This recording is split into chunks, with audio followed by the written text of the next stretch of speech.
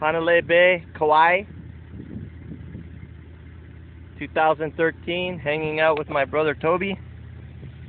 And this is the view from uh, one of his friend's house. We just made an imu, cooked some pig, and we're heading down to our campground. Okay, signing out.